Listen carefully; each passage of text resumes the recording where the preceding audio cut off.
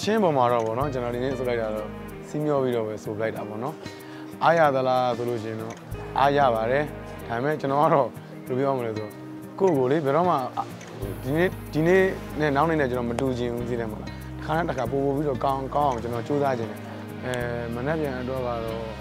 ကျွန်တော်လည်းရင်ကုန်တယ်ဘယ်လိုပြောမလဲဆိုတော့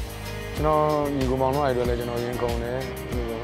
ော်ဘယ်လိုဘယ်သူ ပဲထောက်ကထောက်ကပါတော့ကျွန်တော်ထောက်ခိုင်းတယ်ကျွန်တော်စိတ်တယ်မကြပါဘူးကျွန်တော်ညီကောင်မောင်တော့ရတဲ့ထောက်ခိုင်းတယ်စိတ်တယ်မကြကြပါနဲ့လို့နော်အဲ့လိုပြောချင်ပါတယ်ဟုတ်ကျွန်တော်တို့ဒီကိုလာမကြည့်နိုင်မဲနဲ့ပေါ့နော်ဒီခံစားမျိုးကနေအားပေးကြတဲ့ဒီကားမျိုးရောအားလုံးပဲပေါ့ကျွန်တော်အကောင်းဆုံးတော့ကြိုးစားထားကြပါတယ်